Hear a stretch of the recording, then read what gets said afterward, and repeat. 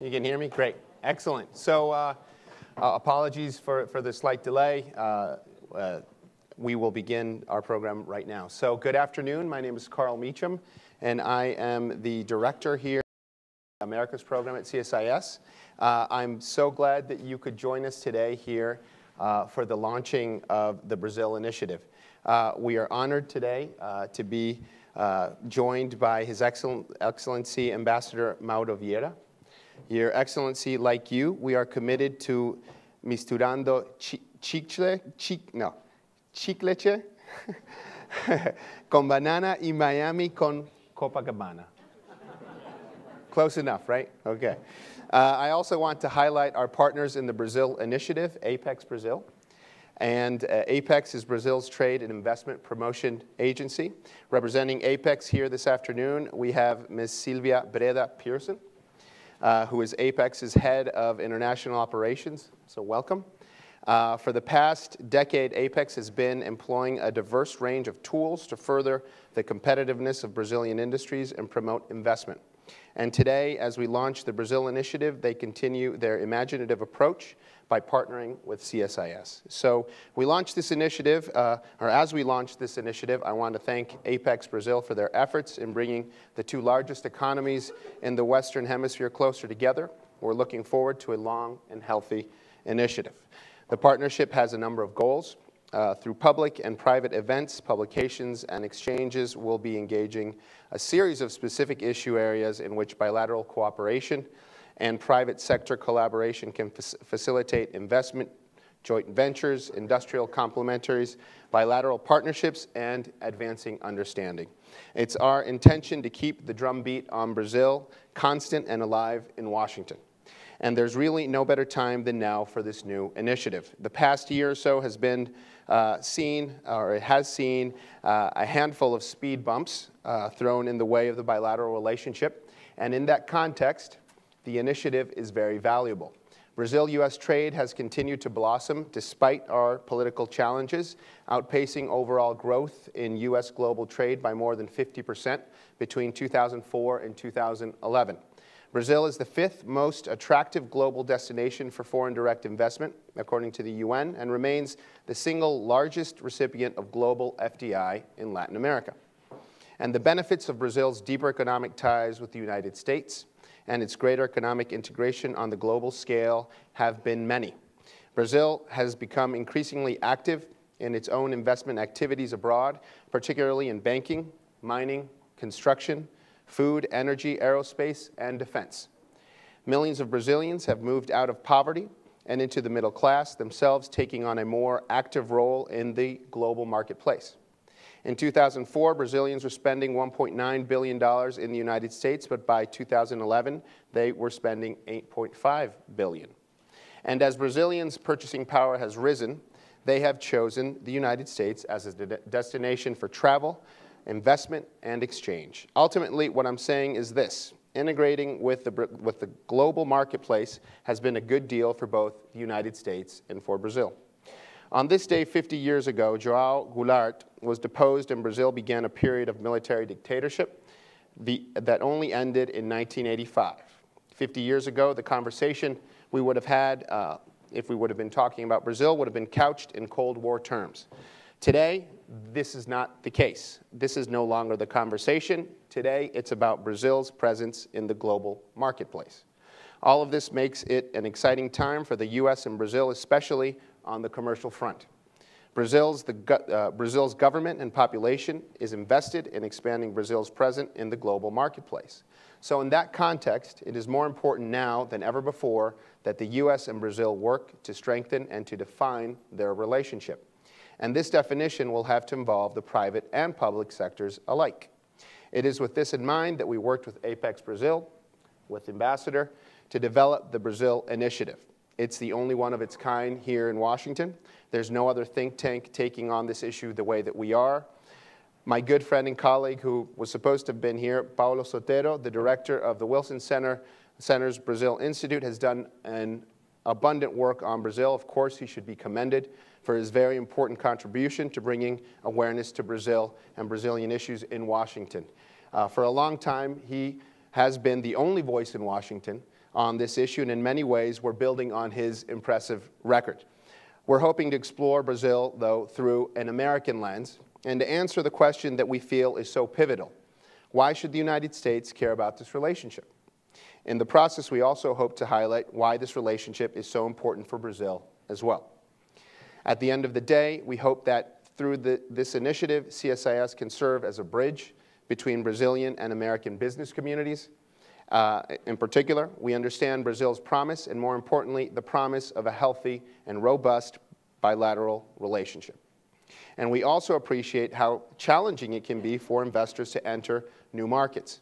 CSIS is committed to engaging governments and the private sector to help inform this relationship.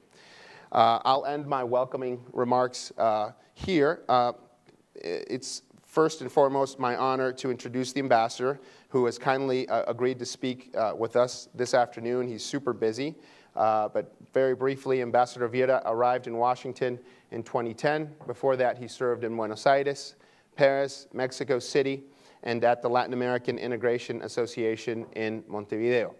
Following his remarks, we'll hear from Ms. Silvia Breda Pierson, who will be speaking on behalf of Apex Brazil.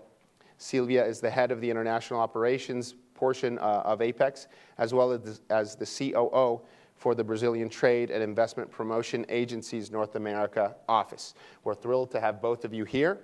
Uh, after Silvia's remarks, um, and the ambassador, we will go to a second panel where we're lucky to have Ambassador David Nelson, Senior Manager of Global uh, Government Affairs at GE, and Marcia Nejaim, Executive Manager for Competitiveness and Innovation for Apex Brazil. So without further ado, Ambassador Vieira, the floor is yours. Thank you. Thank you.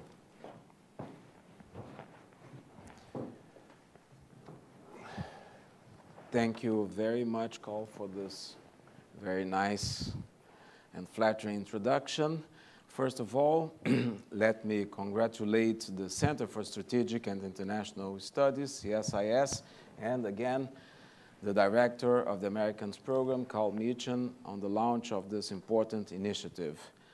I would like to thank APEX and its head of international operations, Silvia Pierson, for your support to the Brazil initiative. I also thank Marcia Nejaim, APEX Executive Manager for Competitiveness and Innovation, and Ambassador Nelson, General Electric Manager for Global uh, Governmental Affairs, for your participation in the panel on innovation that is to follow. The CSIS Brazil initiative was born early last year as part of the embassy's efforts to reach out to the think tank community in, in Washington. I am glad that these efforts are starting to pay off. Ladies and gentlemen, over the last 20 years or so, Brazil has gone through tremendous changes in its econo economy and society. From a condition of chronic vulner vulnerability from the 80s until roughly the mid 90s, Brazil's economy was stabilized to the point that the country became a net international creditor at the IMF. After getting its macroeconomic fundamentals right, Brazil was capable of strengthening its internal market with net wage increases and robust social policies that lifted millions to the middle class and virtually eradicated extreme poverty.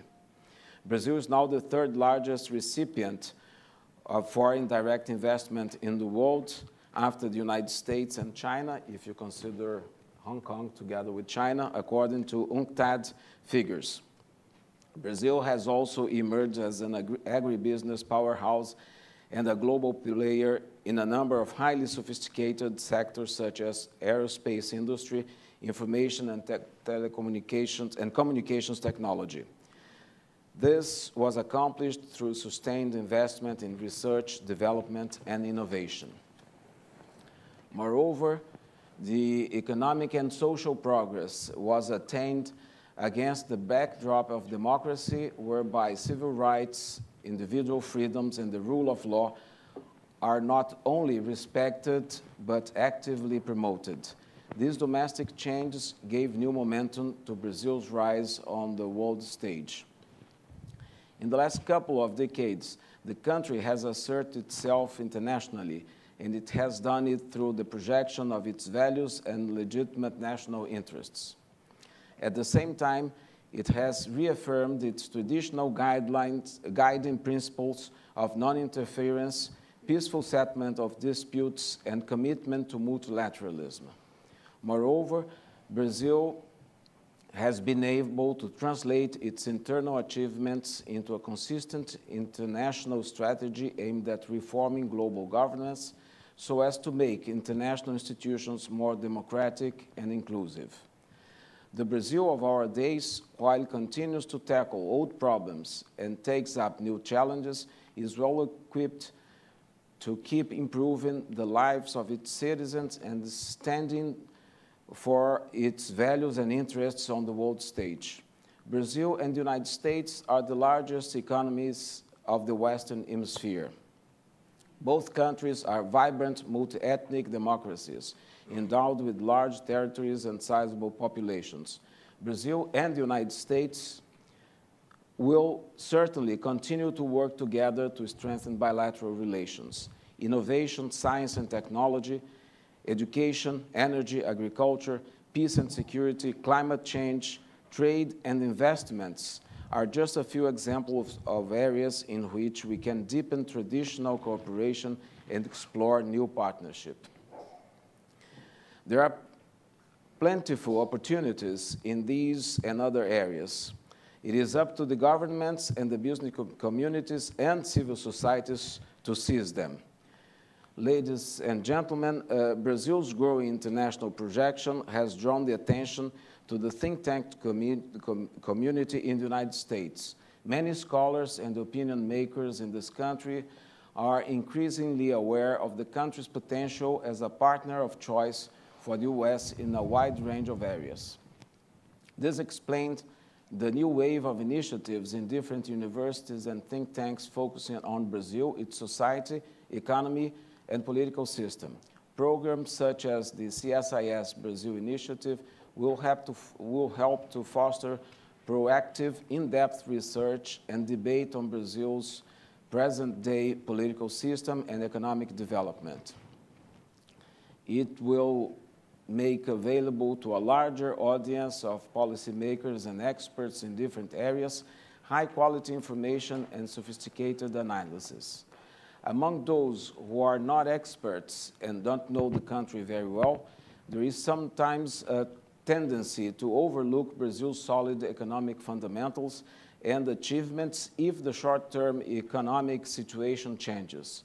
The Brazil, Brazil initiative should reach out to such audience as well, not only to the community of experts and already, who already understand the importance of Brazil-US relations.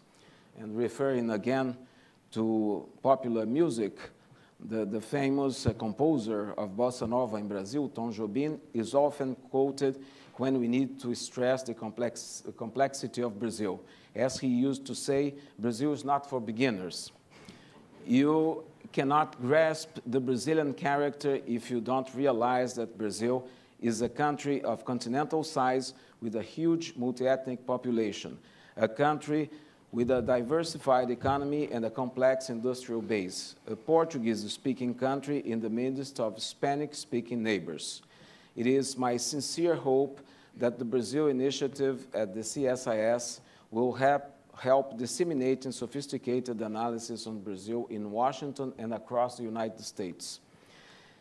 It is my expectation that, uh, along with other Brazilian initiatives and programs in different universities and think tanks, the CSIS will contribute to spread far and wide accurate information on Brazil, including its main challenges and its great achievements. Hopefully, the Brazil initiative will, will not only explain Brazil to beginners, but also contribute to heighten the level of debate among experts.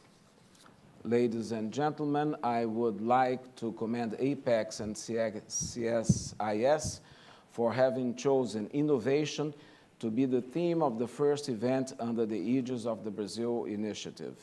Science, technology, and innovation are top priorities of the Brazilian government. both domestically and internationally. Let me give you two domestic examples to illustrate my point. Brazil has launched in 2013 the Inova Empresa program, or Enterprise Innovate program, with $16 billion in funds to foster innovation in the private sector in different areas, such as oil and gas, agriculture, energy, air and space, and defense. And in 2012, the Ministry of Science, Technology, and Innovation in Brazil also established the program Major IT, or in Portuguese, TI Maior, and the Startup Brazil program in order to promote and attract investments to the IT sector. Innovation is also an important part of the Brazilian foreign policy, and the U.S. has been a key partner in this field. The U.S. is the largest destination of Brazilian recipients of the Science Without Borders scholarships in the STEM areas. Many large, innovative American companies have been establishing research centers in Brazil, such as GE, Intel, and Microsoft. Others have large production facilities and investments in Brazil. Moreover, high-tech Brazilian companies such as Embraer, TOTVS, and Stefanini have established banks, uh, branches or plants in the United States. Innovation also uh, pervades multiple areas of cooperation and many different Brazil-US mechanisms, such as the Science and Technology Joint Commission meeting, the Ministry of Industry and Commerce and Department of Commerce Commercial Dialogue, and the ATEC, or Agreement on, on Trade and Economic Cooperation. It's also worth highlighting the Brazil-US Innovation Summit Initiative, which brings together sen- senior leaders from the business, academic, and public sectors from both countries to foster partnership and create concrete business and research opportunities. This mechanism is co-organized by the Brazilian National Development Bank, BNDES, the Brazilian Agency for Industrial Development, ABDI, the Movement Brazil Competitive, MBC, and on the US side, the Council on Competitiveness. The third edition of the summit, which took place last year in Rio de Janeiro, launched a binational platform to carry out joint projects of research and development. Innovation is the key to ensure competitiveness and participation in the most dynamic global value chains. The 21st century is the century of the information-based economy and society. Innovation has become the engine of development and the requisite of success in the world economy. To live up to our aspirations of promoting a better life for gen the generations to come, we ought to strengthen the ability to innovate as we invest in our human resources. The panel assembled here today will have the opportunity to explore ways to move forward as Brazil and the United States forge new partnerships for the 21st century.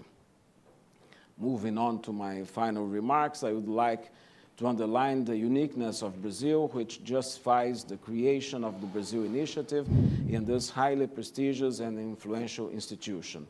Brazil's trajectory, both domestically and in world affairs, shows that a peaceful and democratic developed country can emerge based largely on soft power, diplomacy, and cooperation. In a world troubled by armed conflicts, sectarian violence, arms proliferation, and economic and social imbalances, Brazil's experience is nothing short of inspiring. I am sure that such inspiration will be a powerful drive force behind the Brazil initiatives here at CSIS. And I thank you very much, and thank you, Carl.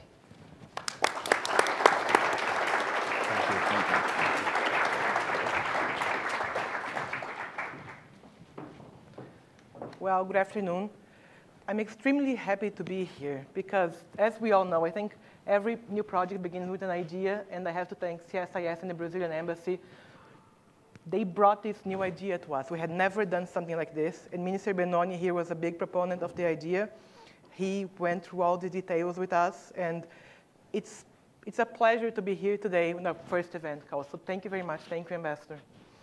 Uh, the United States has always been extremely important for Brazil and for Apex Brazil. It was here that we, where we opened our first office in Miami, where I'm based. And uh, it's also the only country we have two offices, Miami and San Francisco. In fact, Ambassador, the project startup that you mentioned, we, also, we have an office, our office in San Francisco also helps the Brazilian uh, startups to get you know, US and uh, foreign investors. So it's a very big project that we have in San Francisco. We also have more than 57 trade associations that are supported by Apex Brazil that are focused in the United States. So there's a lot of work to be done. Actually, Apex directly and indirectly is going to organize more than 100 events in the US in 2014. So it's, it's extremely important for us. Uh, Anna from Apex is also involved with, uh, with the United States, and she has been doing a wonderful work. Next week, I think we have another trade mission coming to, coming to Washington with the help of the Brazilian embassy. So it's extremely important for us to be here. And this is something completely new for Apex Brazil. We are present a little bit in Washington through our partnership with the Brazil Industry Coalition. I don't know if Sally is here. Um, but this is different. This is a think tank. No, this is CSIS. So we are, thank you very much, Carl, for opening this door for us. We hope to do all our events. I think we have another eight events this year, other seven events this year. As a minimum. As a minimum, Yeah. perfect. so, but thank you very much. And I hope you're patient with us. It's the first time that we do something like this. And we're very excited. We know that we have the Brazilian embassy as our partners here. So we are sure it's going to be a great year and a great 2015 too, since our project goes two years. Thank you very much for Thank all you. you all to be here. And we have Márcia Nejaim from Apex Brazil. She's our innovation expert. And uh, I know it's a big responsibility, but she's going to talk about our initiatives and innovation too. Thank you.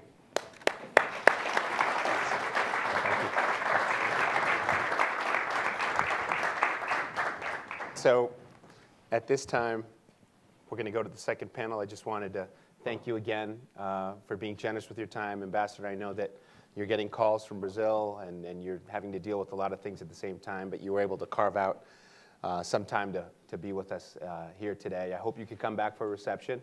Everybody's invited to the reception. Uh, but uh, thank you so much. Uh, thank you, Celia, as well, for your kind words. We are going to make this a worthwhile endeavor for you. We, I have a very able staff, a very uh, energetic, able, visionary, uh, committed group of folks. So we're going to make this good. Uh, we are going to keep the drumbeat of Brazil alive here in Washington. And uh, with that, thank you very much. We're going to move to the second panel. Thank you. Thank you. so much. Thank you. Thank you. Thank you, Carl. Thanks a lot. Thank you. Thank you.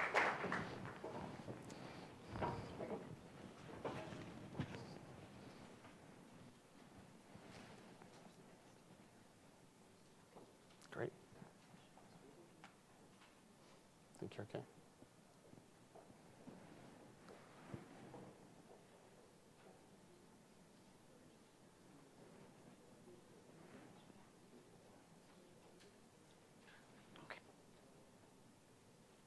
Excellent. Come on up. Good. If you'd like to sit in the middle? Yeah. Great. Put this button here. Excellent. Great. Great. And uh, on to the second panel about competitiveness and innovation uh, with uh, two very able folks. Uh, as I mentioned, uh, we, from Apex Brazil, we have Marcia Nejaim, who is the uh, executive manager for competitiveness and innovation for Apex Brazil. Her career has focused on strategic consulting as well as information and communications technologies. Marcia has worked at Apex on several capacities, notably fo- focusing on foreign investment. So Marcia is going to go first, and then she'll be followed by David Nelson. I've known David for a long time, uh, and it's really great to have you. He is the Senior Manager of Global Government Affairs and Policy for the Americas at General Electric and former ambassador to Uruguay. Um, we're going to start off with, with you, Marcia. After Uh, they give their presentations. I'm going to kick it off with some questions, and then we're going to have some questions from you. Uh, uh, I would just remind you we are on the record. Uh, this uh, event is being webcast live right now. Um, so when you do have questions, someone from my staff will give you a microphone. If you could introduce, uh, if you could present who you are, and you know, and make your question. Please try to make your question brief so we can get as many folks to participate uh, as we can. So with that, Marcia. Thank you, Carl. Excellent. Thanks. Thank you very Thank much. You. Uh, it's a pleasure to be in this event. Uh, thank you so much, you, for being with us today. Uh, before I start my presentation, I just would like to mention some things about the, the challenges that the Brazilian economy uh, faces ahead. Um, the agriculture and mineral commodity prices uh, are not going to be as high as we used to see because of the slowdown in the Chinese economy. This is a big challenge for us. Also, on the other hand, we have seen the minimum wage in Brazil um, uh, has grown 70% in the last years, and uh, the productivity in the firms has not grown uh, in the same path. So um, in order to, to not lose the social and economic gains we have seen in the last years, uh, it's very crucial for Brazil to invest in productivity. And some of the ways uh, we can do that is through um, international interaction. So as the, the, ambassador mentioned, to participate in global value chains, but also through technology investments, through innovation. And that's why this is so important for APEX uh, to debate uh, innovation um, in this event today. So I'm going to speak a little about what uh, APEX Brazil does. Um, I'll give you some numbers on Brazil. Uh, a recent history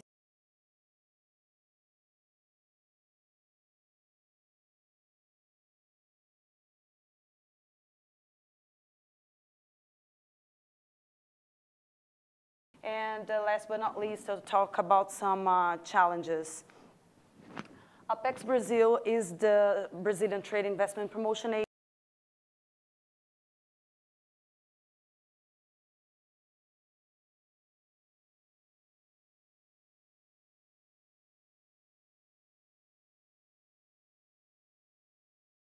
Also, we support the internationalization of Brazilian enterprises and, of course, promote the Brazil brand uh, abroad. We are located in this nine different locations, as Silvia mentioned.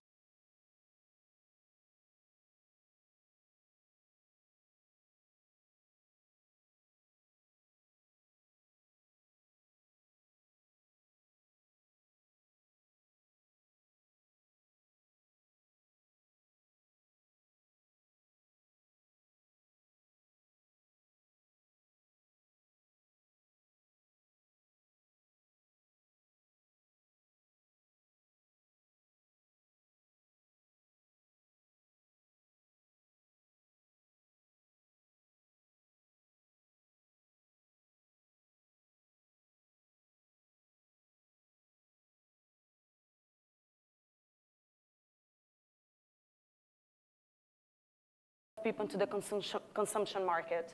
Our minimum wage has reached approximately 310 uh, US dollars. Our investments in science, technology, and innovation has reached 1.16% uh, of our GDP. Uh, our international reserves uh, are in a very good shape. They're much higher than our uh, external debts. Um, our energy matrix is one of the cleanest in the world and uh, our trade flow, has reached 481 uh, billion US uh, dollars. So speaking a little bit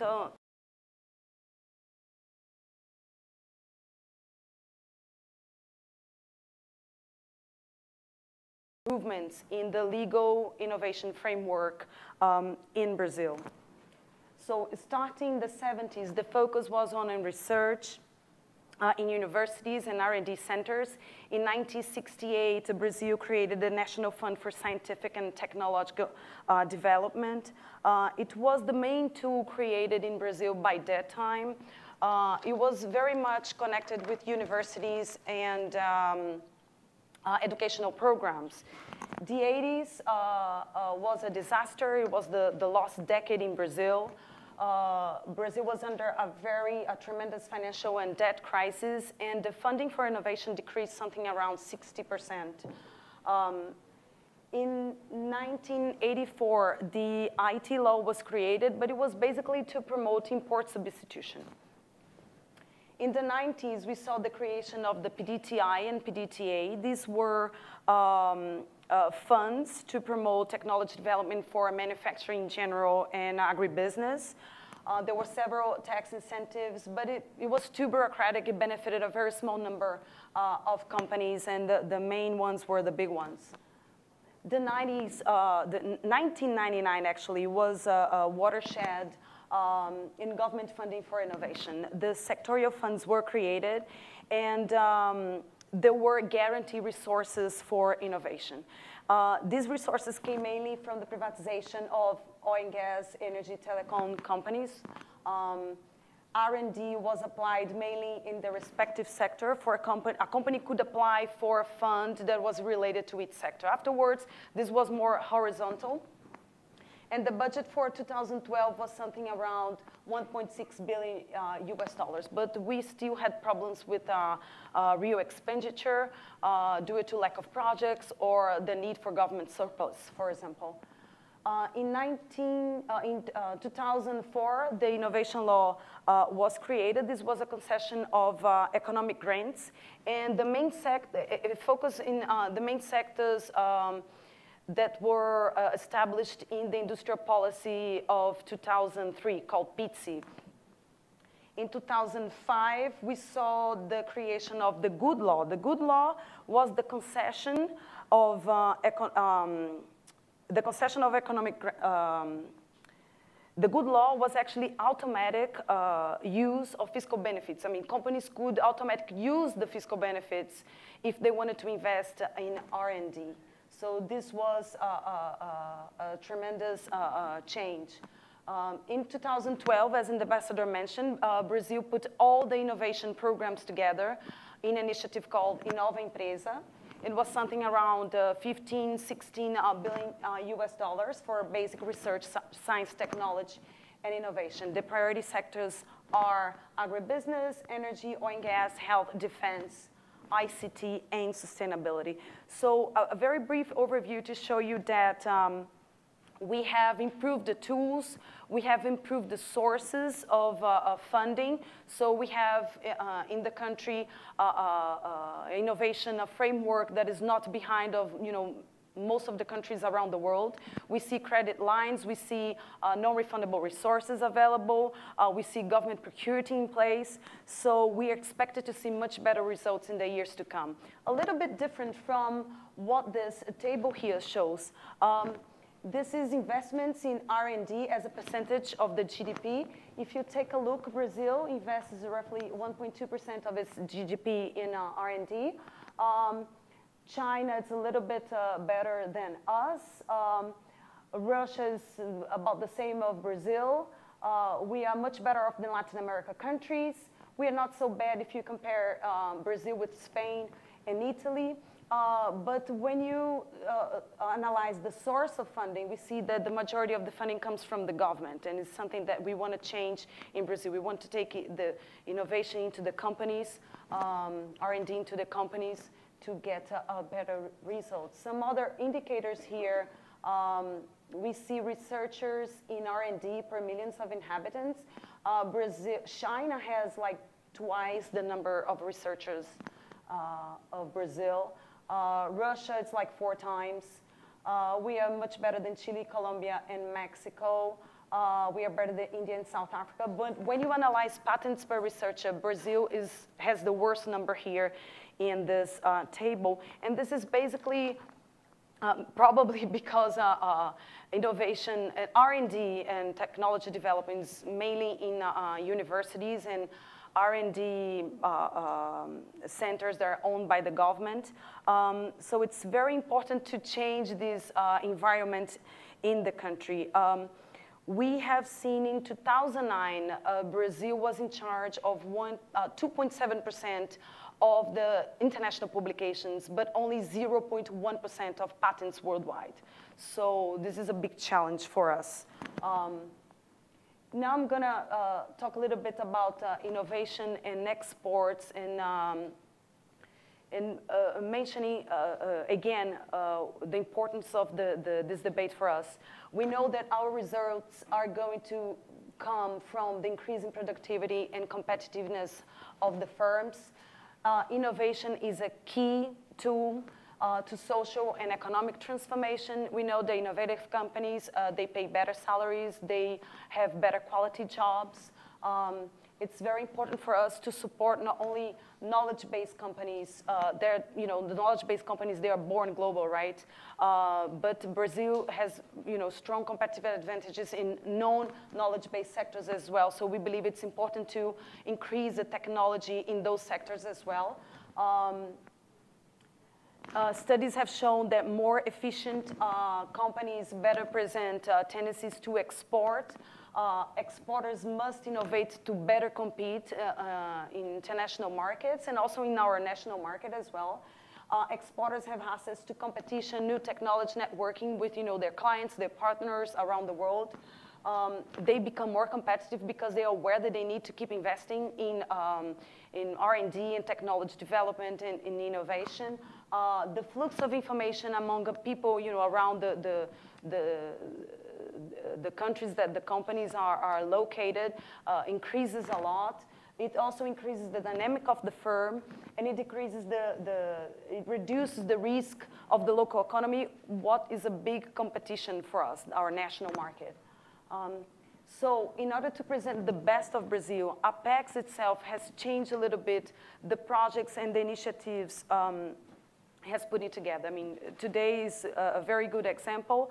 Uh, we are running projects in the last years that we never thought we were gonna uh, be as a trade promotion organization. So I'll give you just, you know, a few details on the, on some of the things we are doing.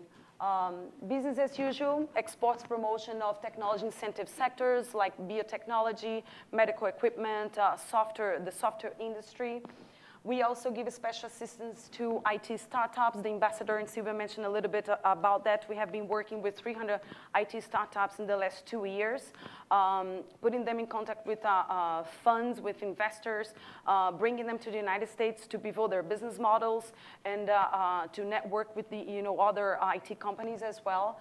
Um, we have been partnering with several um, government and private organizations in order to uh, give access to Apex clients, exporters, um, to th these partners' uh, services. For instance, we have just closed a partnership with FINEP, the Finance Innovation Agency in Brazil, to give Apex clients access to the funding that uh, uh, holds. Um, we're also doing the same things with other private institutions. But uh, uh, another thing that is very important in these kind of partnerships is bringing innovative, innovative companies to the international market. There are several companies that have world-class products that are focusing in the national market. So Apex is generating new leads uh, uh, for uh, uh, its services, its products and services. We also have a, a, a project to support um, to attract international venture capital and private equity funds uh, to Brazil. Last year, we brought uh, something like 1.13 uh, billion reais to Brazil, but also to have access to the networking that these funds have uh, internationally. We also uh, have a joint initiative with the Ministry of Science, Technology and Innovation to attract projects and R&D centers to Brazil. GE and IBM um, are some of the examples we have worked close by to the decision-making process in order to bring these uh, centers to the country. In fact, last uh, week I had the privilege to have a one and a half hour meeting with Mr. Jeff Immelt, uh, CEO, global CEO of uh, uh, GE, to debate future investments that the GE is doing in the country and it was, you know, fantastic to see the, the partnerships that uh, uh, uh, we still can do together. Um, we are also working with multinational companies. It's a new project we'll start in the second semester to develop a supply chain with innovation and sustainability attributes to these multinationals in Brazil and abroad. So we're very excited to see how this will come up. And um, uh, last example that I would like to, to tell you is the, using the design as an innovation tool. Uh, we are putting designers within uh, firms, some of our clients that already export, to do mainly incremental improvements in products that they already export. We have the first uh, launch of this project um, in the end of last year. It was um, dental kit for surgery that a small company in Brazil uh, developed. Um, this company has invested almost nine times what Apex invested in the project because the CEO has, you know, realized that he cannot do business as usual and uh, he has achieved a 43% uh, decrease in the production costs. So we're very, very excited to see how exports will come up uh, uh with this uh, project. And last but not least, I'll talk a little bit about some of the challenges we're facing ahead. We still need to keep improving the uh, innovation environment, especially for small and medium-sized enterprises. Uh, some of these companies, not just small ones, but also service companies, are not able to deal with the, the bureaucracy that, you know, sometimes government requests them. So there's a big effort in the government to, to change, to facilitate the process to uh, small and medium-sized enterprises. Uh, also, we need to increase non-refundable resources and venture capital for strategic and uh, risky, more risky pro uh, projects. We still need to open even more the Brazilian market. Brazil only exports 12% of its GDP. If you compare to South Korea, that exports 58% of its GDP, it's a tremendous uh, um, uh, room, there's a tremendous room uh, to work. Uh, we need to integrate our companies to global value chains. This is a big challenge uh, for us. Uh, we need to increase interaction among universities, government, and companies, as I mentioned before. We need to continue to improve education and qualification of the workforce. So um, I'm about to finish my, my participation here. It's very important for the government and for us to uh, facilitate companies to invest in innovation. Um, Brazil, it's among the seven biggest economies in the world. If you take this, the first six ones, they are big GDPs and they are big exporters. We are big GDP, but we are small exporter, so we need to improve that. And uh, for Apex, uh, it's very important to keep uh, working on this agenda. We are determined to contribute to that, uh, especially because uh, for our own benefit. So um, that's it. Thank you very much. Thank you, Carl. Thanks. Kira? Very nice. Thank you. Thank you.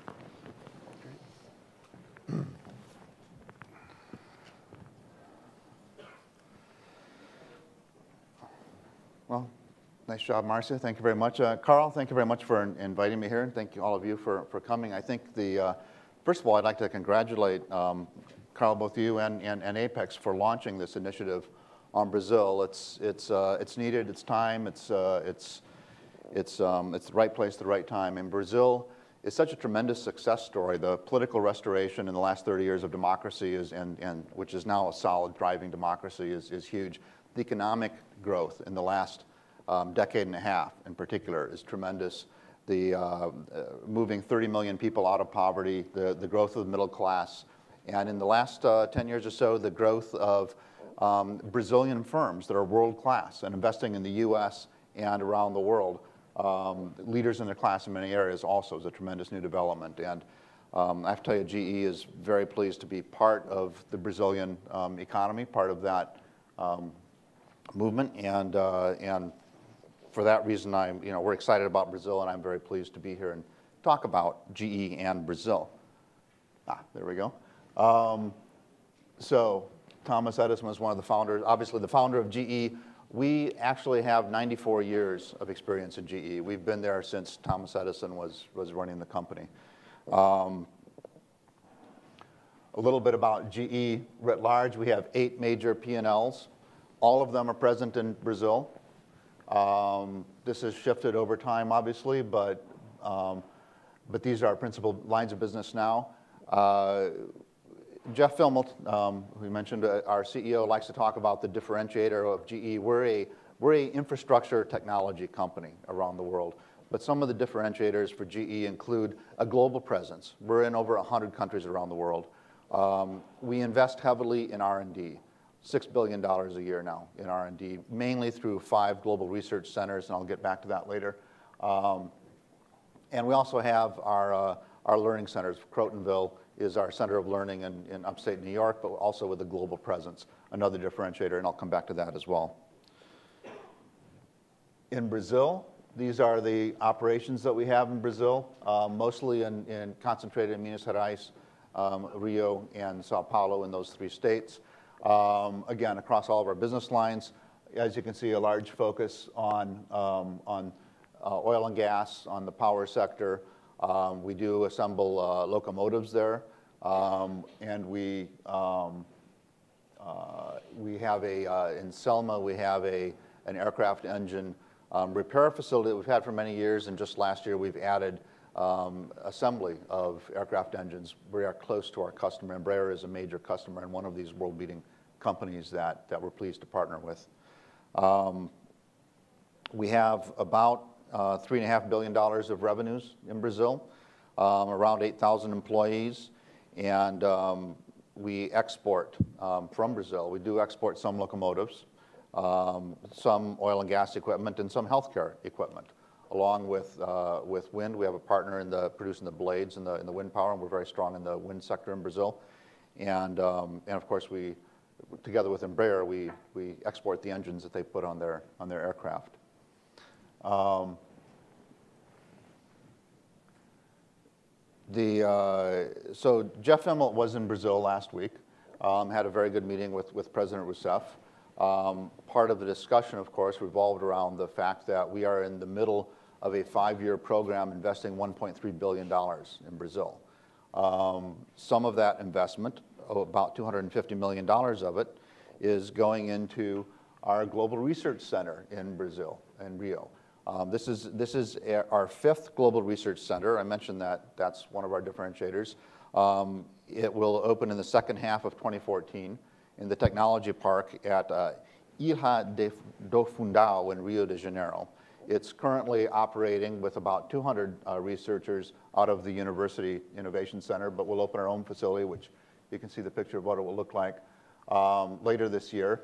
It will also include a Crotonville uh, Training Center branch. We do this global training worldwide, but it's, it's principally um, to do research. Now, uh, Brazil was chosen from among the over the 100 countries where we, where we operate for this fifth research center. Our, our first one is in Niskayuna, upstate New York. Um, we also have them in Shanghai and Munich in, um, and in India. Um, part of the reason, of course, in addition to, to Apex being so convincing, we, uh, we also looked at um, the attractions of, of Brazil as a place for several reasons. Um, first of all, the, the demand side, the growth in infrastructure in Brazil has been strong, and we expect that to continue to be strong. And we are, as I said, an infrastructure technology company. So being close to our market is, is one of the keys. Secondly, the political and institutional stability, this restoration of democracy over the last 30 years, and the solidity of that, uh, of the institutions is, is key. Um, third, we have, there's a strong and mature customer base in our key segments, not only from the government, but from the businesses in, in, in mining and transportation and in oil and gas, in energy. Um, we have strong customers. Um, third, there's a high caliber talent pool from the universities. You know, one of the keys, obviously, to research institutions is finding the, the, the, the raw material or the, the, brains of the people that you're putting in there, and that we found to be um, tremendous opportunity. Uh, I was talking to, the, to uh, Ken Herd, the, the, the manager of that yesterday, actually, about this. He mentioned that so far of the 200 researchers we have, roughly about 15% actually are former Brazilian expatriates who came back to Brazil because of the opportunity to, to work in research in, in their home country. So we're, we're pleased to both offer them that opportunity and to have that resource base to draw on as well. Um, another factor is that there are large sectors of the economy that require local technology solutions. There are obviously areas that we have some specialty in. For example, the, in the oil and gas area, the pre-salt fields are fairly unique in, in, in Brazil and the, our, the research and development that we can focus on the specialized needs there out of our research center in Rio is, is one of the attractions, in addition to sectors like transportation, energy, healthcare, and so on.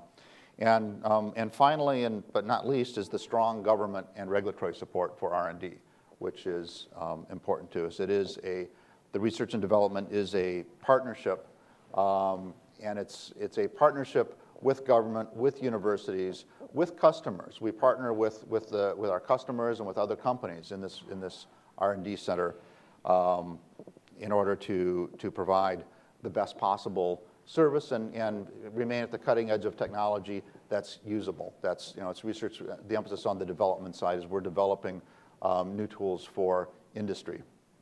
Um, so as I said, it's a, we have this network of five global research centers, and, and one of the aspects of, of R&D that's important to notice is, is, as we talk about trade, research is a global tool. This is not something that, I mean, we, we have a focus in Brazil, we draw on the Brazilian expertise and the Brazilian location, but the, the interaction among all five of our global research centers is what we bring to this. It's the people in Rio talking to the people in Shanghai and the people in, in, in Niskayuna about the latest developments in each of their fields. It's bringing all of that expertise together is how you develop innovation.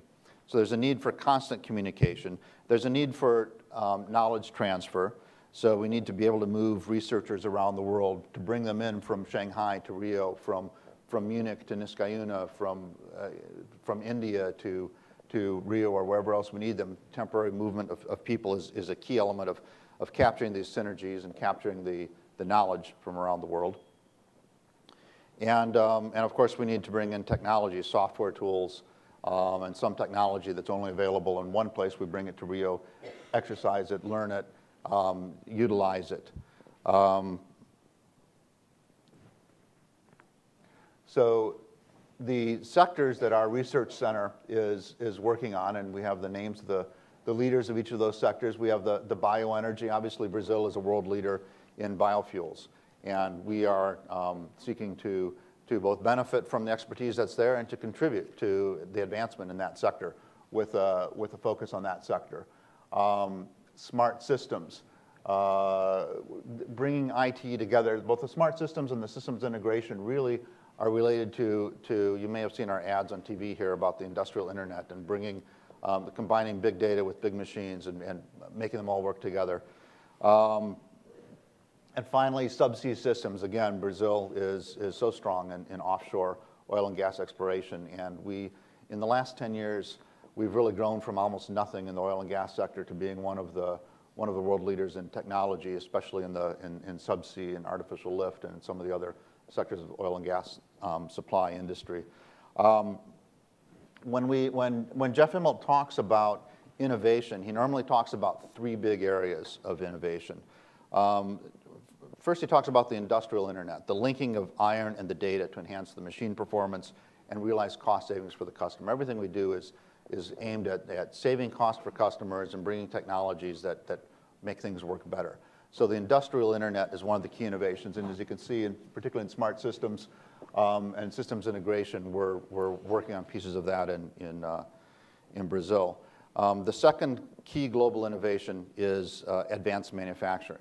And this has to do with digitizing supply chains, lowering product costs, and speeding developments of new products, things like 3D printing and, and, and laser cutting and the, the new types of manufacturing. And incidentally, we actually have a display of that technology around the corner here on 1122 Connecticut Avenue. You're all welcome to go visit.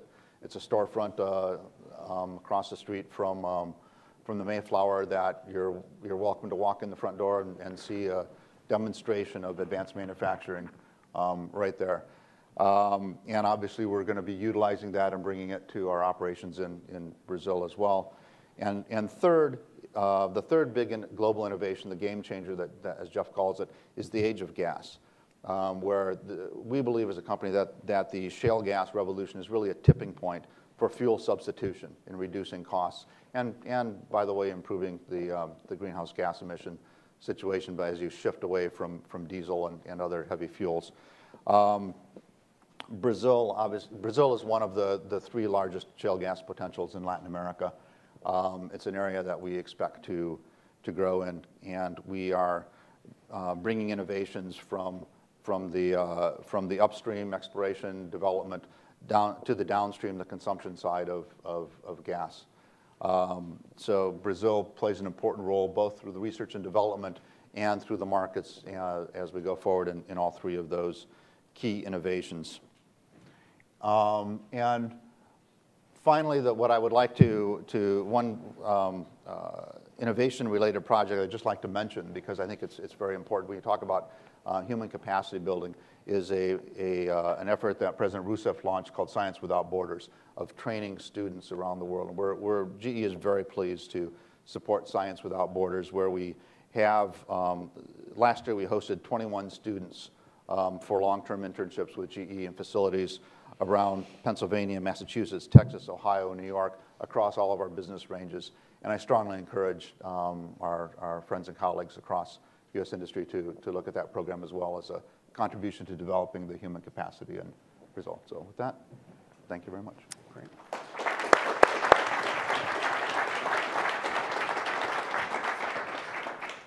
Great. So thank you for your, for your uh, presentations, uh, for giving us uh, your views on these different issues on innovation and competitiveness.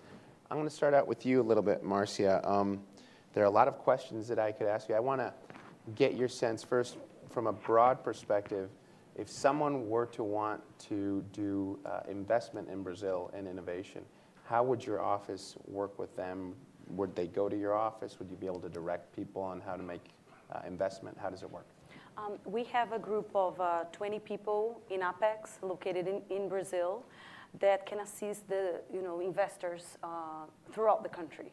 So we assist uh, the company in the entire uh, decision-making process, uh, not only about, you know, uh, information, to give information about regulatory issues, about, you know, tax issues in Brazil, but we also um, connect the investor with the uh, governments within the states, in the municipalities, because Brazil is a huge country. If the company wants to go, you know, see the best opportunity in Brazil, it's going to be very hard to do that by by itself. So uh, we assist the company with information, with networking, and basically with everything that the company uh, uh, uh needs uh, to do in Brazil. Okay. You know, so we can connect the, the, the company with this team of people in Brasilia.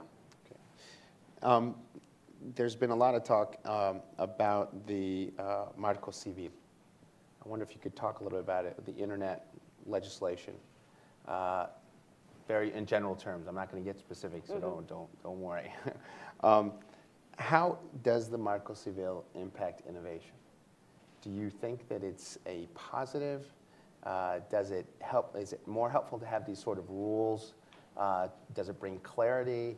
Uh, how do you see it? Because people here are talking about these things, and um, it's just helpful to get a sense from you. You work on innovation issues. Mm-hmm.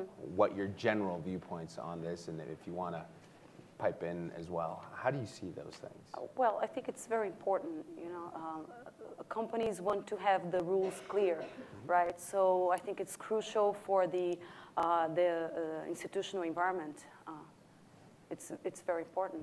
I mean, there's a lot to be done yet, right. but we have moving ahead in this agenda. Okay. So it would be great to see your views as well. Is there anything did you want to add to that? Or? Well, it's the you know the the rules of the game as you move to to a global well, as we're in the midst of a global internet economy, is, is, is important to, to, to have clear-cut rules. And um, uh, I think what, you know, it's, it's, it's interesting that Brazil is obviously hosting the, the upcoming uh, Internet DICAN conference. Mm-hmm. Um, and this is part of what, what this feeds into. That's, there's some, some very important debates to be had, and, and is an important contributor to those debates. I think it is, um, it's, uh, it's, a, it's positive, it's very positive that, as I understand it, the, the bill currently um, maintains a, the sort of openness to international uh, development of, of IT and the, the sort of, as you talk about, you know, the uh, computing on the cloud, um, and frankly, this Internet of, of Things, um, you're, you're not talking about a location, you're talking about sort of cyberspace yeah. out there. So it's, it's, uh, it's, it's good that, that it maintains that commitment to the open uh, global mm-hmm. internet. Mm-hmm. And, and David, could, um, could you talk a little bit about how the role uh, of GE has changed over the years? How do you see the environment changing in Brazil for foreign direct investment? Mr. Immelt was down there. Obviously, it's a priority for, for GE. Um, what, what's happening from your perspective, and why is it interesting for you uh, to be in Brazil? Well, um, yeah, Brazil is huge for us. It's, it's about 40% of our Latin America market. Um, and in fact, our, our regional headquarters is in Sao Paulo for all of Latin America. Um, it's, uh, you know, it's hard to differentiate between the changes GE has undergone, where we've got out of plastics, we got out of NBC, you know, television, and moved, shifted more into oil and gas. The areas that we have shifted more into, I think, play to Brazil's strength and make it all, you know, like the oil and gas, Brazil, you know, just in the last, what, 10, 15 years, when Brazil has just boomed as, as a, uh, a global oil and gas supplier, and, and we've grown with that, um, particularly in the subsea and the offshore areas. So I think that we're, we're closely integrated that, that and, and the, um, uh, the mining sector that we're involved in, uh, transportation, moving all of the, you know, the, the commodity boom. That, that you mentioned prices are stabilizing, but still the commodity boom is there, and Brazil is one of the major producers, iron ore, soybeans, et cetera. These take, you know, you need rail to transport that to ports, and we're happy to supply the locomotives that, that help with that. Um, and then you look at the, at the emergence of Embraer, for example, as a, as a, as a global um, supplier of, of, of aircraft, and we're extremely pleased to be uh, suppliers of engines for, for Embraer. Remember. I'm just going to open it up for, for some questions from, uh, from the audience. Uh, There's a question in the back. If we could just, Carlos, if we could just, uh, in the back, the gentleman, I think with the gray sweater back there. You could just stand up and, Thank you. you could Yeah. stand up, sir? Oh, I'm reading with the laptop. That's okay. Uh, my name is uh, Joan Faus. I'm a reporter of El País, a newspaper from Spain and with an edition in Brazil. I would like to ask the representative of Apex. You were saying that Brazil should increase its exports. I would like to know if you could tell us more or less what percentage in the short term you think they should increase, and also to the to the U.S. If you think there are uh, certain sectors that should lead this rise of the exports. And I would like to ask both of the speakers how much do they think the uh, deterioration of the relationship between Brazil and the US for the uh, NSA scandal has affected the economic relationship between the two countries, and especially the uh, intention of increasing the trade in both directions. Thank you.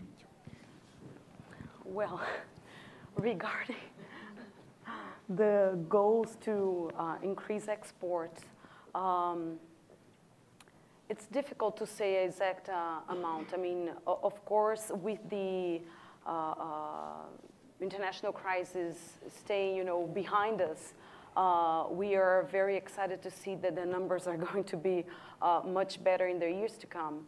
Uh, but uh, I would not give you exact percentage for that. Um, we have uh, a market intelligence department there that is, you know, currently um, doing all the econometrics and all the calculations uh, for that. But uh, I wouldn't say an official uh, uh, number now. Okay. And the second question. The second, if you- if you want, I'll, I'll help you with that if you want. Okay. Okay. Uh, Thank uh, you. Regarding your question um, on how the relationship sees itself or where the relationship is between the U.S. and Brazil?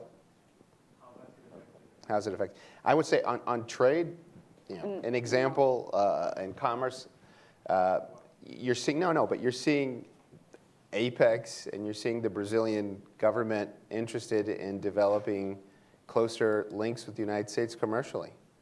Um, I think that there are obviously challenges that we have uh, with different countries. Brazil is, is a country that we have a lot of things in common with, and there are some issues that we have differences in. And but we, from from my conversations with folks in, in, in, in the State Department and at the White House, uh, that there's an obvious interest in us. Uh, overcoming some of the challenges that we have because there are more things that uh, are beneficial to us having the relationship than remaining sort of stuck in some of the differences that we have. I think the commercial area is probably uh, the smartest place and the most likely place where we're going to be able to continue our, our, our relationship. And I think that uh, if you're a student of history and foreign policy and politics, you note that uh, relationships actually become closer uh, the more you have business with, with other countries. Uh, so I- I think that it's a positive to maintain these relationships. I have not seen a dip in investment or interest, either from the Brazilians or from the Americans. Uh, I think that it's, uh, again, uh, sometimes uh, the political differences are very distant or different from the relationship that people have in the private sector and you know the relationship that we have with Apex and all the and the relationship that GE has in uh, in Brazil. You guys aren't going anywhere. Is is is is continuing strong, and um, I think it serves as a good channel uh, to maintain these ties. Uh, this initiative is another uh, example of that. Um, hopefully, you know, uh, these uh, relationships and the differences that we have will be overcome. But I, I, think that there's a willingness on both sides to do that. Uh, and the commercial side is an example of that as well. Yeah, we, we haven't, I, mean, I could not point to, a, to a, commercial problem resulting from that. In fact, Jeff Immelt, as we mentioned, met with President Rousseff last week, had an excellent meeting, a discussion about the trade and investment plans of, of our company. I don't think that the political relationship, to my knowledge, didn't even come up in that conversation. I think it's, it's, it's a focus on, the, on, on doing business, which is what we do. So I, I, I think that that's, that's marching forward very strongly. During the meeting with uh, Jeff in I was, you know, thanking him for, you know, everything that GE was, has been doing uh, in Brazil for almost, you know, 100 years of business in the country. And he was, oh, no, no, no, we are very excited for uh, what we have been doing the last few years and uh, for everything that we're still going to do in this country. So I think there are lots of business opportunities that uh, cannot be taken for granted, right? There's a question here in the front. Um, Rodrigo with the red tie. Yeah, yeah Sidney Cajodo from Columbia University. So one of the priorities of the Dilma's administration has been to champion or to promote the interests of uh, national champion companies. So I was wondering to what extent the work of Apex is related to, to uh, these priorities. Um, this initiative was basically run by uh, the, uh, BNDES, the Brazilian uh, Development uh, Bank. Um, what Apex does in terms of internationalization of companies, we work with um, companies that uh, invest, uh, um, that have initiatives that are more related to open uh, um, access to international markets. So we are not involved in these type of investments. Uh, we work with companies with what we would say middle investment uh, needs. So they're basically going for uh, commercial and like for instance, open um, uh, commercial base in the United States, uh, open branches, and things like that. So the national champions are uh, is an initiative that uh, BNDES was in charge of. Apex was not really involved on that. Let me let me move it around. We'll come back. Um, I think the lady right there, if you could stand up, please, and then get the microphone. Great. Hello, my name is Flora Bracco. I work for AM Global Consulting based here in DC, and I'm also a student at American University. So I wanted to ask both of you actually. Um, Martin and mentioned uh, innovation and sustainability and global supply chains. And uh, Mr. Nelson actually really wrapped this up, um, mentioning human capacity, capacity building by GE um, in Brazil, supporting Science Without Borders. So I wanted to ask you um, to clarify more what Apex does, how it supports innovation, for example, in CSR, perhaps not only in Brazil, but abroad, perhaps in Africa or third countries. Okay. Um, CSR is a new thing for Apex. We have just built a department last year. Um, so basically what we are doing is mapping the sustainability attributes that international buyers are requesting um, maybe because you know it's a uh, local legislation or private code initiative. So we are mapping uh, the international demands and also mapping what Brazilian companies are doing. So it's important for us to understand this environment and help the Brazilian companies to match the international uh, requirements. The project I mentioned it's an, is a new project. We uh, have built a partnership with a sustainability think tank from Fundação Getúlio Vargas, which is a university uh, in Brazil. And they have built uh, um, uh, uh, projects in global supply chains for quite some time. And uh, what we're adding into this initiative is the international part of it because they have built this project for the national market. So what we are bringing to the table is the international part of it, you know, uh, mapping what is happening around the world and trying to meet, uh, to make the companies more competitive doing um, uh, sustainability or CSR uh, strategies. Great. Let me, let me go in the back and then up front here.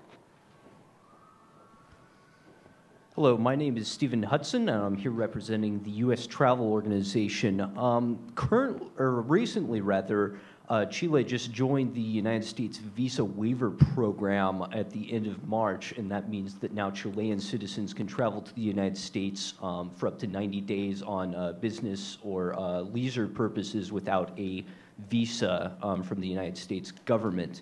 Uh, that means that Chile is currently the only country that is uh, part of the U.S uh, visa waiver program. And so I think since we're talking about things such as innovation, um, having a strong global presence, and that sort of thing, um, it's obviously desirable uh, for Brazil to have its citizens to be able to easily go to and from the United States. Um, so my question is, is it a uh, possibility or agenda that the Brazilian government will be trying to uh, press uh, joining the uh, visa waiver program to the United States within the next couple of years? And secondly, um, how do the United States government and the uh, United States private industry need to uh, aid the government of Brazil in uh, accomplishing this? Thank you. I don't know. this is something that I would not rather speak about. No, but there's a, there's a question there, I think, that's related, which is, you know, some countries like the Chileans, and I think the Mexicans have programs like Startup Chile, Startup Mexico, which provide seed money for sometimes foreigners, sometimes Brazilians that want to start up innovation uh, companies, small companies, startups, right? Um, do you do something like that? Do you get involved in something like that with the Apex? Mm, is Apex? No. Okay. Do you have any no. point, Silvia? Do you know anything? Is there a microphone there? Yeah. Great. As far as I know, no, we haven't. Apex does not does not do it. Um, we help the companies once they are ready to come to the United States, for example. We help them through our office in San Francisco and a relationship with the startup project in okay. Brazil.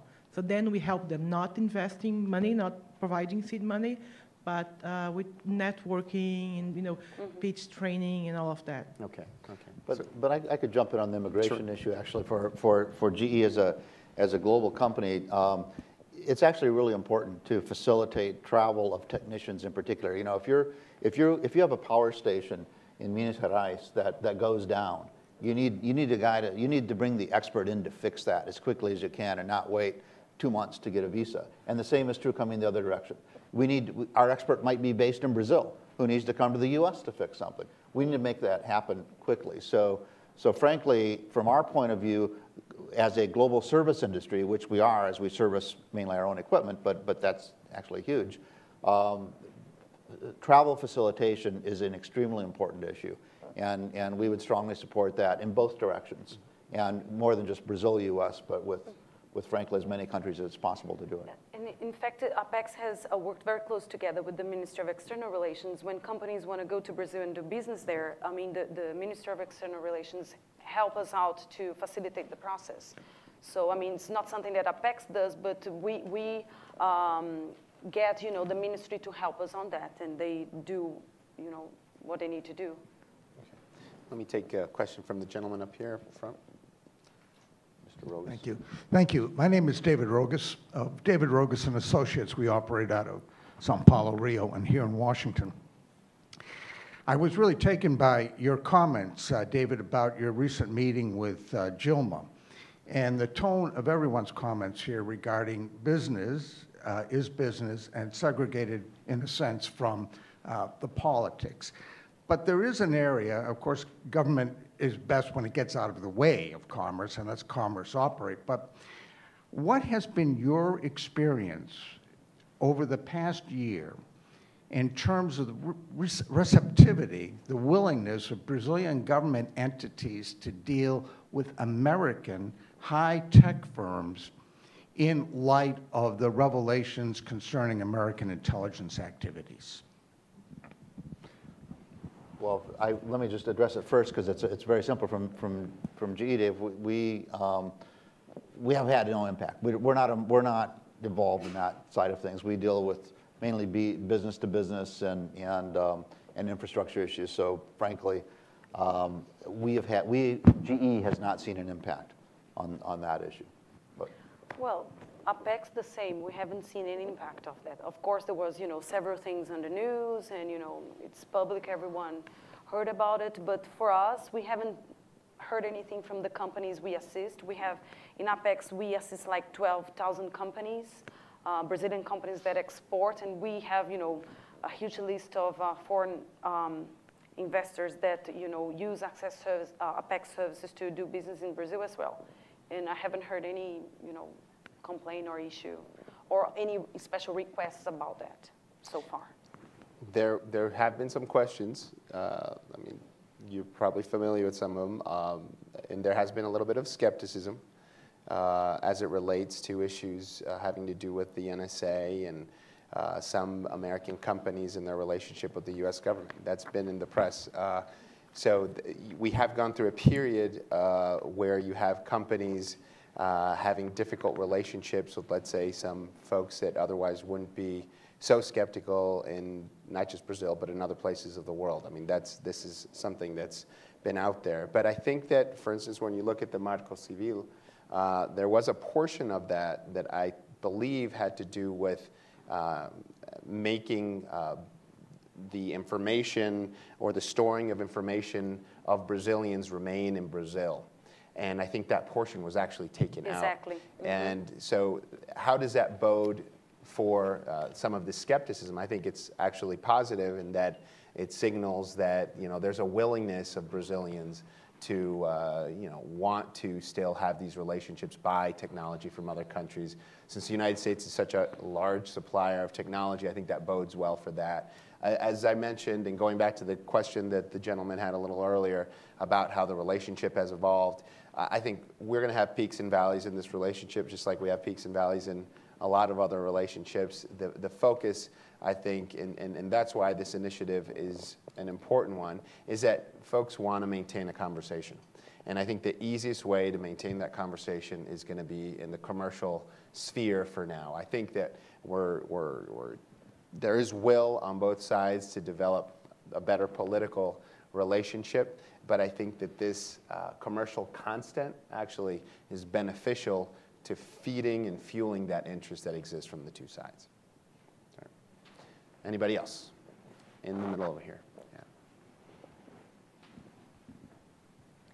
Good afternoon. My name is Ana Luisa. I'm a Brazilian lawyer, scholar here in uh, Washington, D.C. with Prudential Foundation and a master's student in Fundação Getúlio Vargas. My question will tackle the SME scenario for Ms. Marcia. Um, we just heard actually an SBA official talk about how going global is actually the next step to American SMEs.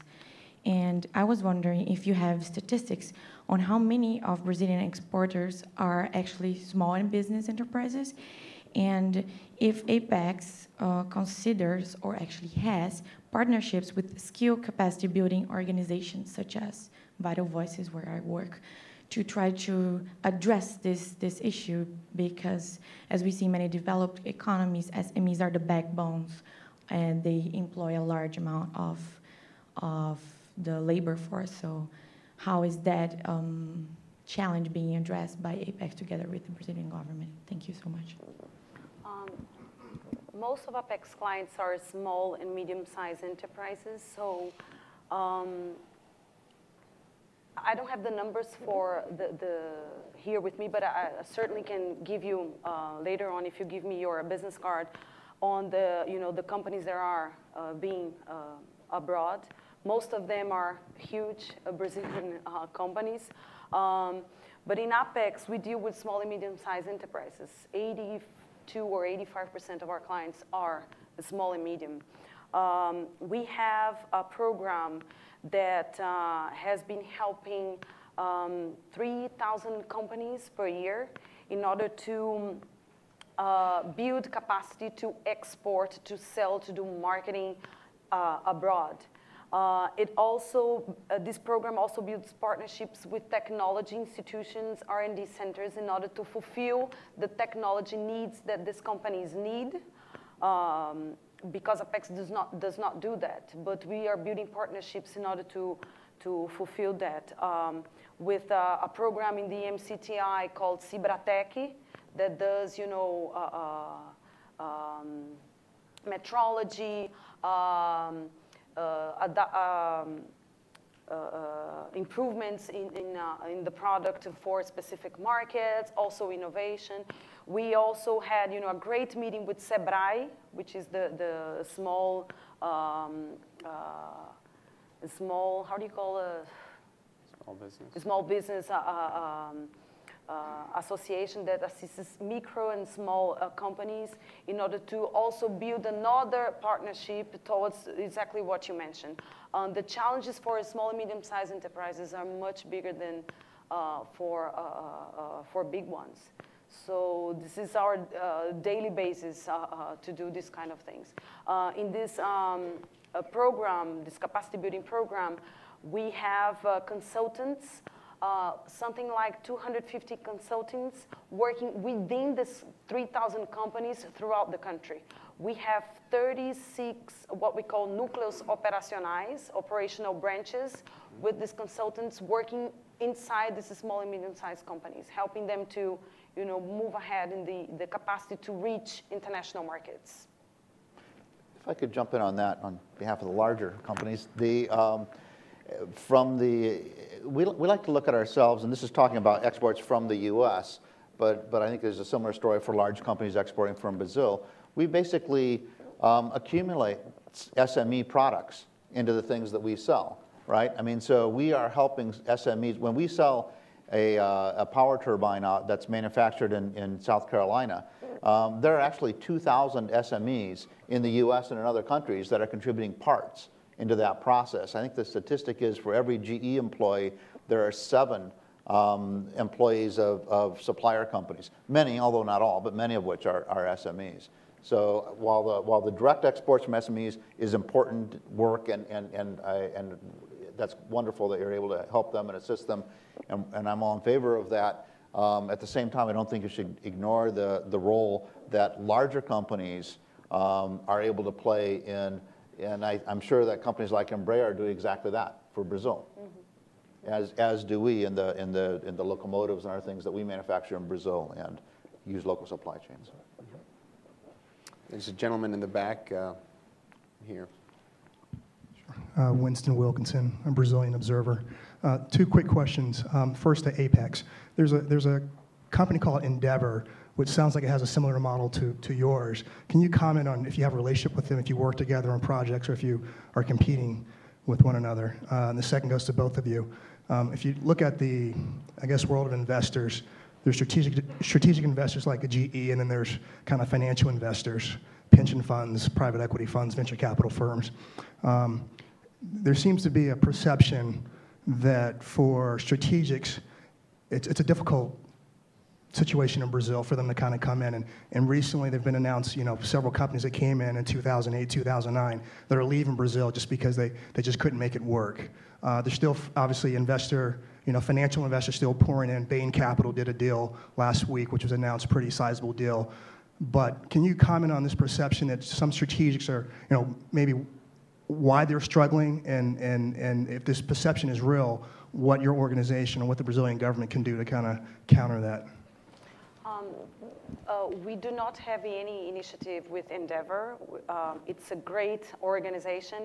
And in fact, we are about to visit them to discuss a little bit uh, on the things we are doing. And I'm sure we'll find uh, um, uh, points that uh, we can work together.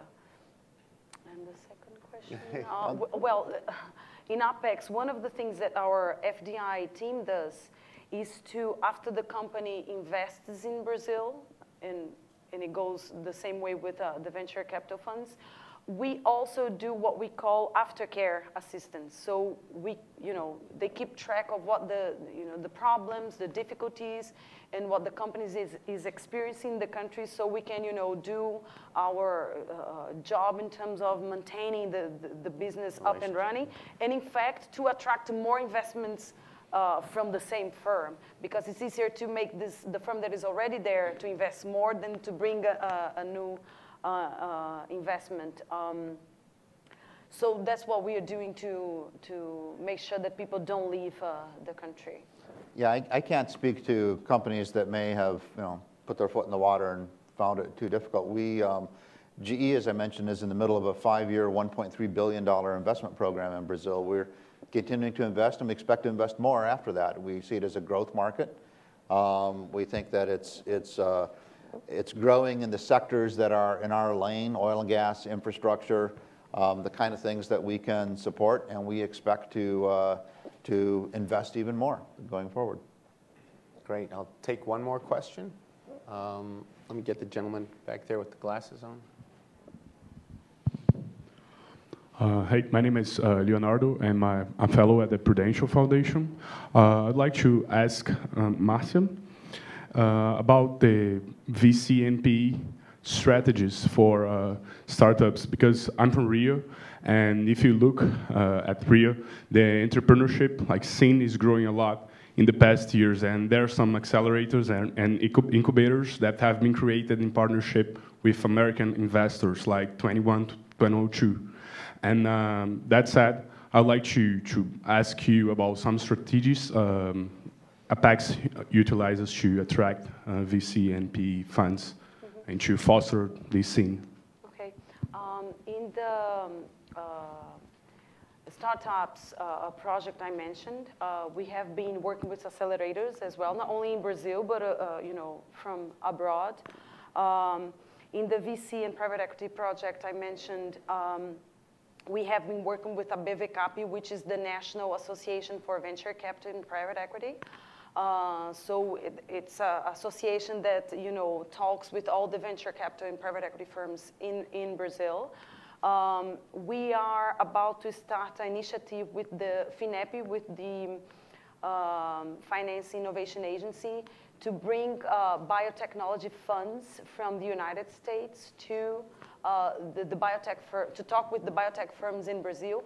Uh, is uh, uh, financing many biotech firms in the country. I mean, even in the pro-operation uh, um, phase of the, of the business.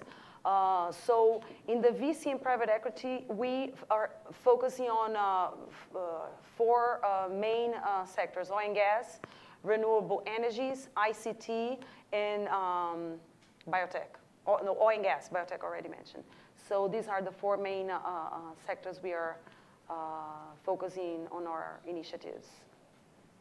Great. And with that, I want to uh, thank all of you for coming. Nelson, Marcia, Silvia, Ambassador Vieira. This has been uh, a wonderful inaugural uh, event. In particular, I want to thank one person here that was there at the inception, that was there at the beginning, and because of him, we were able to really get this initiative started. It's Benoni, Benoni Belli, who's up front, who's been a wonderful person, wonderful partner to work with at the Brazilian Embassy. So thank you, Benoni. Uh, I want to thank all of you for coming. This is the beginning. Uh, you're going to be flooded now with events that we're going to be having on different issues having to do with Brazil, different activities uh, on, a, an array of issues and things. Uh, there's lots to talk about. Uh, so um, it was great having you all here, and I invite you all to a wonderful reception that we have prepared for you uh, over there in the Nunn uh, reception room. So thank you very much. Thank you. Thank you.